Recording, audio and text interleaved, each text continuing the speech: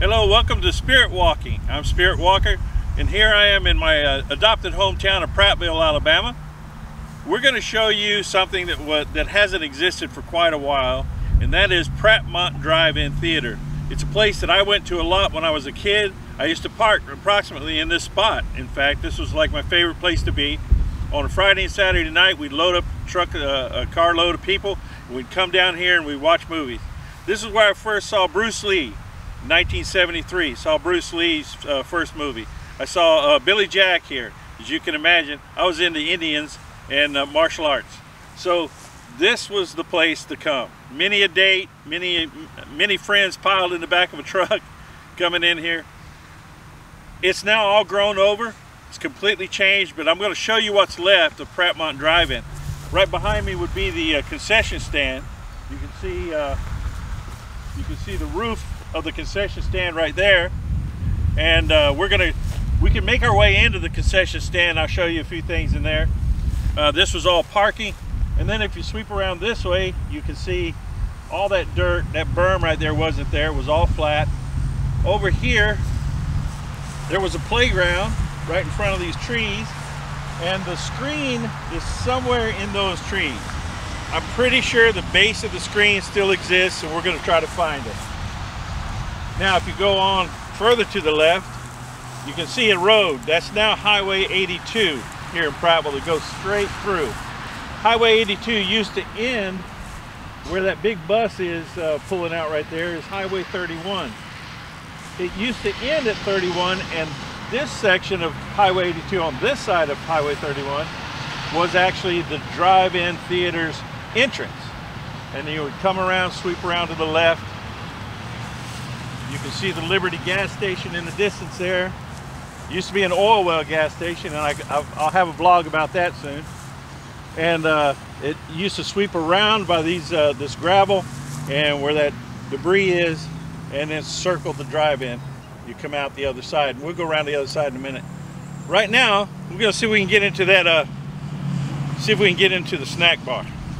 I'm pretty sure that the speaker stands back then were cemented in the ground had two big speakers on each side. Back then, young people, you took the speaker off and set it in your car window and rolled the window up so it held in place, and that's the way you would listen to the movie. So we're gonna go around behind the concession stand, which is right there.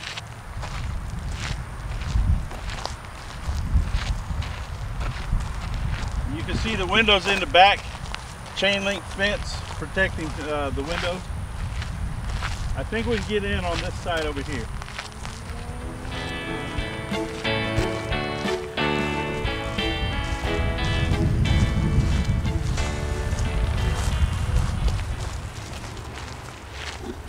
Kind of looks spooky from the back. You can see how the windows.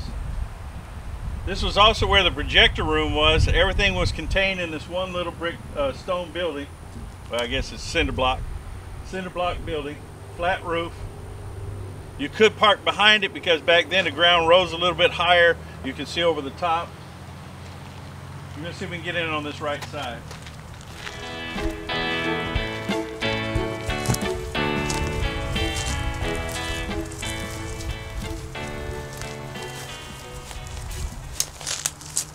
Okay, well this is quite interesting entrance.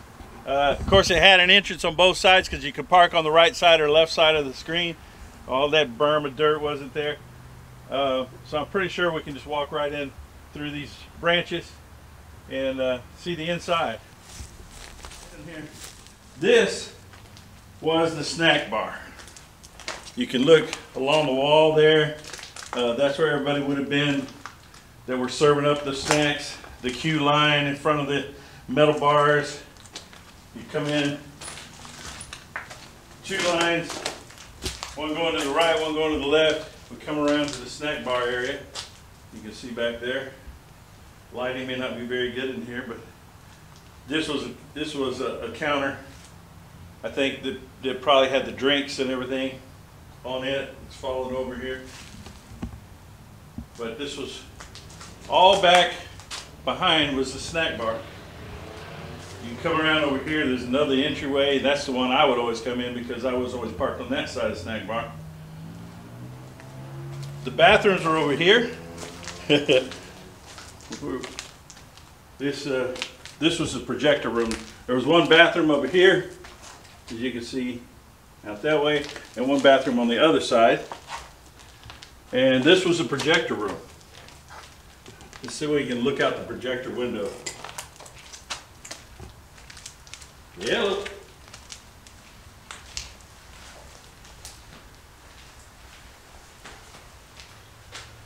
So the projectors would be on this side, shooting out that window, and on that side, shooting out that window, obviously not at a big bank of dirt. So that they could change the, the reels. Uh, there was two, two projectors not going at the same time. One would be going, and when they would cut off, they would cut this one on so that the uh, film continued to run. And they could observe what they were looking at through these windows up here. And this was, this was the projector room. Not very big. I never got to come in here when it was running. But it's pretty cool. I saw an office over here. See what's left in the office. No beat up desk.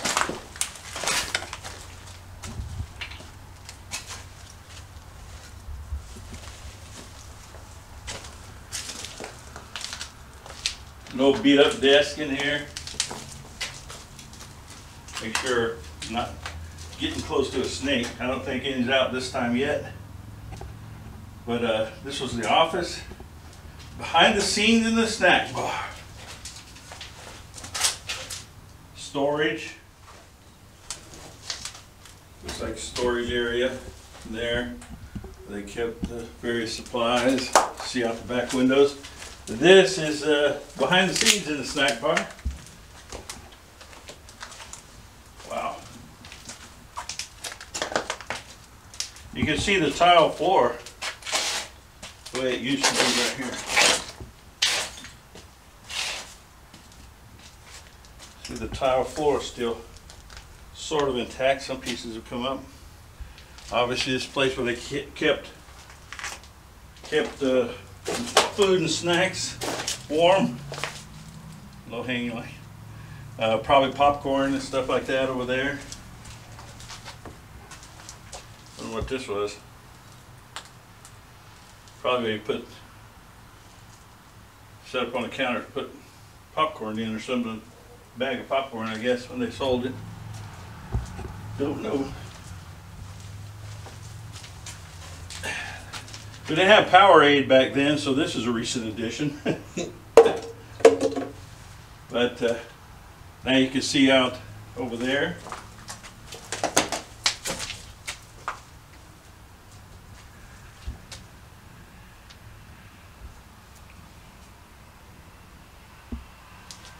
Again, more storage area back here.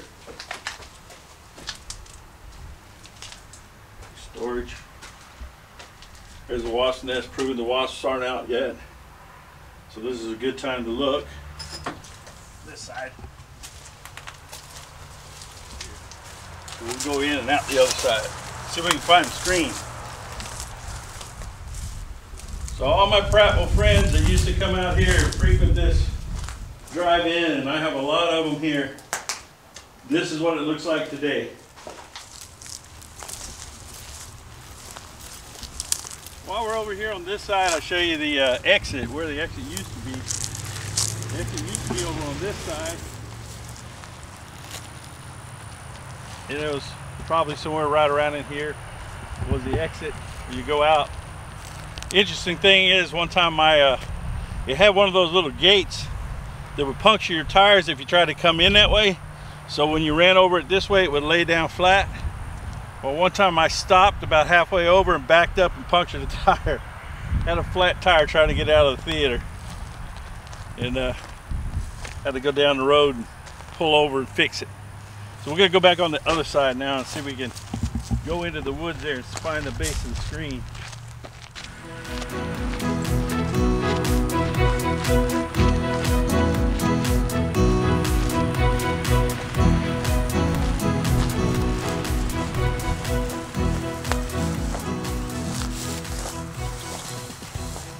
Right over in here, there used to be a playground that had swing sets and things like that for the kids.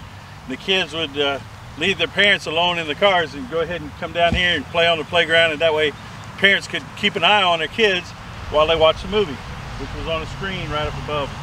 Uh, screen would have been about as high as that tallest tree right there at the top. Pretty good sized screen. We're gonna go through here and see if we can find the base of it where it was mounted. I'm told that it still exists. There it is, I see it already.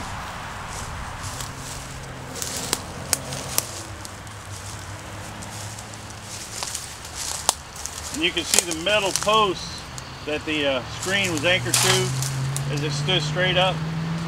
Got metal posts here. A lot of the uh, concrete is falling off the back. You can see metal posts sticking up back there.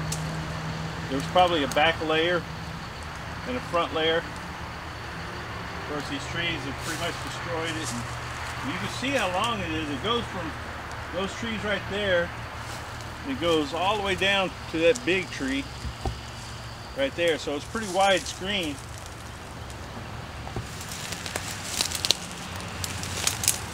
If you look out there, you can see the highway that comes beside it right there. That was the entrance. So you come around, come out the other side on 31, 31 goes straight in front. The screen faced the front. And uh, I'll post a, a still shot of what the drive-in looked like I've got a still shot from the air and I've got a still shot of the front of Prattmont Drive-In.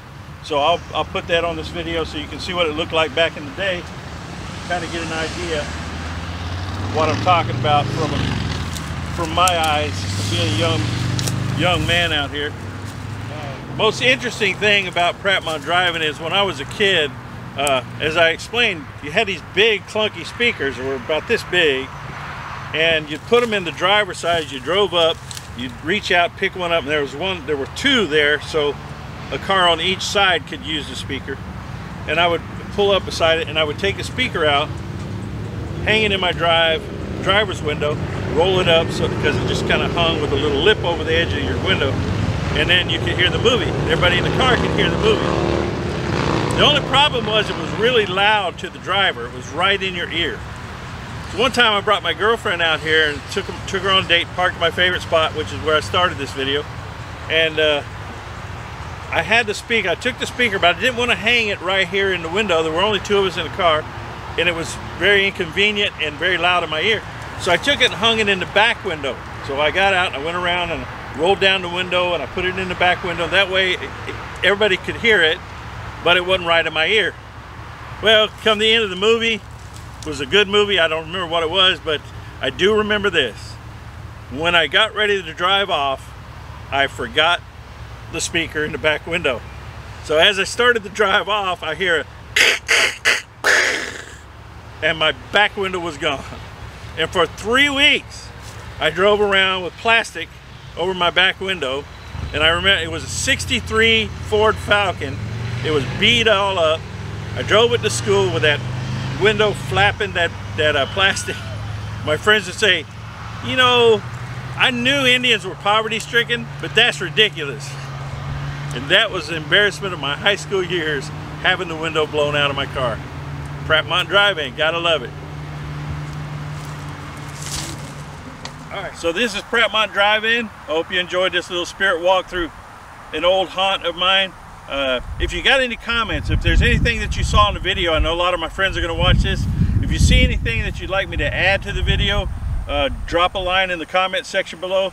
Uh, make sure that you uh, straighten me out on any, any, any facts I might have gotten wrong. You know, it was a long time ago. So help me out. Give me ideas, places you want to see in Prattville or around Prattville or around Alabama. I travel all over, so I'll be sure to, to uh, hook up those places if I can find them. Uh, but give me comments, give me feedback. I'm all open. All right? So, that's the end of this one. I'm Spirit Walker, and I approved of this message.